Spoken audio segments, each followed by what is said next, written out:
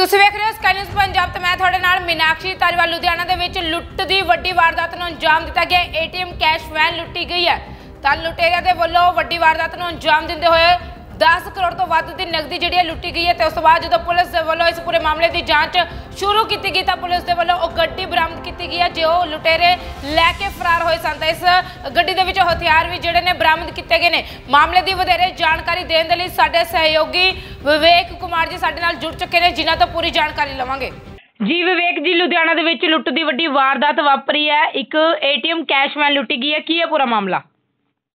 ਜੀ ਮੀਨਾਕਸ਼ੀ ਰਾਤ ਕਰੀਬ 2:30 ਵਜੇ ਦੇ 2:30 ਵਜੇ ਦਾ ਸਮਾਂ ਸੀ ਜਿਸ ਵੇਲੇ ਲੁਧਿਆਣਾ ਦੇ ਰਾਜਗੁਰੂ ਨਗਰ ਇਲਾਕੇ ਦੇ ਵਿੱਚ ਇੱਕ ਸਿਕਿਉਰਿਟੀ ਏਜੰਸੀ ਹੈ ਅ, ਜਿਹੜੀ ਕਿ ਏਟੀਐਮ ਦਾ ਜਿਹੜਾ ਕੈਸ਼ ਹੁੰਦਾ ਹੈ ਉਸ ਨੂੰ ਟ੍ਰਾਂਸਫਰ ਕਰਦੀ ਹੈ। ਮਤਲਬ ਇੱਕ ਕੈਸ਼ ਬੈਂਸ ਦੀ ਜਿਹੜੀ ਉਹ ਕੰਪਨੀ ਹੈ ਉਹਦੀਆਂ ਕੈਸ਼ ਬੈਨਾਂ ਖੜੀਆਂ ਸੀ। ਸੋ ਉਸ ਵੇਲੇ 5 ਤੋਂ 6 ਨਕਾਬਪੋਸ਼ ਵਿਅਕਤੀ ਜਿਹੜੇ ਨੇ ਉੱਥੇ ਪਹੁੰਚਦੇ ਨੇ ਜਿਨ੍ਹਾਂ ਦੇ ਤੋਂ ਜਿਨ੍ਹਾਂ ਦੇ ਵੱਲੋਂ ਅਸਲੇ ਦੀ ਨੋਕ ਦੇ ਉੱਤੇ ਜਿਹੜਾ ਆ ਲੁੱਟ ਦੀ ਵਾਰਦਾਤ ਨੂੰ ਅੰਜਾਮ ਦਿੱਤਾ ਜਾਂਦਾ ਆ। ਜੀ। 7 ਕਰੋੜ ਤੋਂ ਵੱਧ ਦਾ ਕੈਸ਼ ਜਿਹੜਾ ਆ ਗੱਡੀ ਦੇ ਵਿੱਚ ਪਿਆ ਹੁੰਦਾ ਹੈ ਜਿਸ ਨੂੰ ਲੈ ਕੇ ਜਿਹੜਾ ਨੇ ਨਕਾਬਪੋਸ਼ ਵਿਅਕਤੀ ਉੱਥੋਂ ਫਰਾਰ ਹੋ ਜਾਂਦੇ ਨੇ।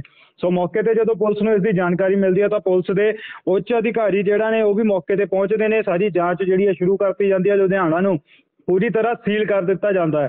ਸੋ ਪੂਰਾ ਹਾਈ ਅਲਰਟ ਤੇ ਲੁਧਿਆਣਾ ਪੁਲਿਸ ਤੇ ਲੁਧਿਆਣੇ ਨੂੰ ਰੱਖ ਲਿਆ ਜਾਂਦਾ ਹੈ। ਸੋ ਜਿਸ ਤੋਂ ਬਾਅਦ ਆ ਹੁਣ ਨਵੀਂ ਅਪਡੇਟ ਜਿਹੜੀ ਇਸ ਪੂਰੇ ਮਾਮਲੇ ਦੇ ਵਿੱਚ ਨਿਕਲ ਕੇ ਸਾਹਮਣੇ ਆ ਰਹੀ ਹੈ ਕਿ ਜਿਹੜਾ ਪੁਲਿਸ ਦੇ ਵੱਲੋਂ ਉਹ ਬੈਨ ਹੈ ਉਸ ਨੂੰ ਡਿਟੇਨ ਕਰ ਲਿਆ ਗਿਆ ਹੈ। ਉਸ ਨੂੰ। ਸਮਰਾਲਾ ਥਾਣੇ ਦੇ ਵਿੱਚ ਲੈ ਕੇ ਆ ਚੁੱਕੇ ਨੇ। ਸੋ ਉਸ ਦੇ ਵਿੱਚੋਂ ਜਿਹੜਾ ਆ ਹੁਣ ਪੁਲਿਸ ਨੂੰ ਹਥਿਆਰ ਵੀ ਬਰਾਮਦ ਹੋਏ ਨੇ। ਦੋ ਹਥਿਆਰ ਬਰਾਮਦ ਕੀਤੇ ਗਏ ਨੇ ਜਿਹੜੀ ਕਿ ਇੱਕ ਖਸਾ ਜਤਾਇਆ ਜਾ ਰਿਹਾ ਕਿ ਇਹ ਕਿਸੇ ਸਿਕਿਉਰਿਟੀ ਗਾਰਡ ਦੇ ਨੇ। ਜੀ। ਸੋ ਜਿਹੜੇ ਅਸਲਾ ਜਿਹੜਾ ਸਿਕਿਉਰਿਟੀ ਗਾਰਡਸ ਨੂੰ ਦਿੱਤਾ ਜਾਂਦਾ ਹੈ ਉਹ ਅਸਲਾ ਬਰਾਮਦ ਹੋਇਆ ਹੈ ਗੱਡੀ ਦੇ ਵਿੱਚੋਂ। ਸੋ ਜੇਕਰ ਉੱਥੇ ਹੀ ਗੱਲ ਕਰਾਂ ਤਾਂ 7 ਕਰੋੜ ਰੁਪਏ ਦੀ ਲੁੱਟ ਹੁੰਦੀ ਹੈ ਤੇ ਜਿਸ ਦੇ ਵਿੱਚੋਂ 4 ਕਰੋੜ ਦੀ ਜਿਹੜੀ ਨਗਦੀ ਹੈ ਉਹ ਕੈਸ਼ ਵੈਨ ਦੇ ਵਿੱਚ ਹੀ ਪਈ ਹੋਈ ਮਿਲੀ ਹੈ। ਮਤਲਬ ਕਿ ਲੁਟੇਰਿਆਂ ਦੇ ਵੱਲੋਂ 3 ਕਰੋੜ ਕੈਸ਼ ਲੈ ਕੇ ਜਿਹੜਾ ਨੇ ਉਹ ਫਰਾਰ ਹੋ ਗਏ ਨੇ। ਸੋ ਹੁਣ ਸਭ ਤੋਂ ਬੜੀ ਜਿਹੜੀ ਜਾਂਚ ਦਾ ਵਿਸ਼ਾ ਹੈ ਮੀਨਾਕਸ਼ੀ ਉਹ ਇਹ ਹੈ ਕਿ ਜਿਹੜੀ ਜਿੱਥੋਂ ਬੈਨ ਚੋਰੀ ਹੁੰਦੀ ਹੈ ਉੱਥੇ 10 ਤੋਂ 12 ਫੁੱਟ ਦੀਆਂ ਕੰਧਾਂ ਆ ਤੇ ਕੰਧਾਂ ਦੇ ਉੱਤੇ ਚਾਰੇ ਪਾਸੇ ਜਿਹੜਾ ਆ ਸੇਫਟੀ ਦੇ ਲਈ ਕੱਚ ਲਗਾਇਆ ਹੋਇਆ ਆ।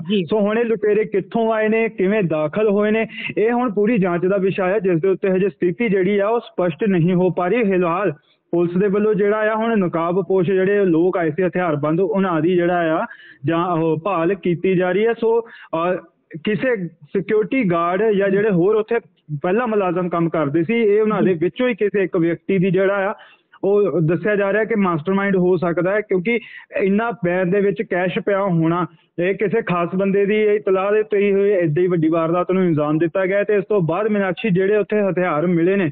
ਉਹ ਵੀ ਜਿਹੜੇ ਸੁਰੱਖਿਆ ਕਰਮੀਆਂ ਕੋਲ ਬੰਦੂਕਾਂ ਹੁੰਦੀਆਂ ਨੇ ਉਹ ਮਿਲੇ ਨੇ। ਸੋ ਕਿਤੇ ਨਾ ਕਿਤੇ ਜਿਹੜਾ ਮਾਮਲਾ ਹੈ ਇਹ ਹੁਣ ਗੁੰਝਲਦਾਰ ਵੀ ਹੁੰਦਾ ਜਾ ਰਿਹਾ ਤੇ ਕਿਤੇ ਨਾ ਕਿਤੇ ਪੁਲਿਸ ਲਈ ਜਿਹੜਾ ਆ ਉਹ ਜਿਹੜੀ ਗੱਡੀ ਬਰਾਮਦ ਹੋਈ ਹੈ ਬੈਨ ਬਰਾਮਦ ਹੋਈ ਹੈ ਉਸ ਦੇ ਵਿੱਚ ਅਸਲਾ ਬਰਾਮਦ ਹੋਇਆ ਹੈ। ਕਿਤੇ ਨਾ ਕਿਤੇ ਪੁਲਿਸ ਦੇ ਜਿਹੜਾ ਹੱਥ ਨੇ ਹੁਣ ਸਬੂਤ ਵੀ ਲੱਗ ਚੁੱਕੇ ਨੇ। ਸੋ ਹੁਣ ਅਗਲੇਰੀ ਕਾਰਵਾਈ ਪੁਲਿਸ ਕੀ ਕਰੇਗੀ ਇਹ ਤਾਂ ਹੁਣ ਮੌਕਾ ਹੀ ਦੱਸੇਗਾ।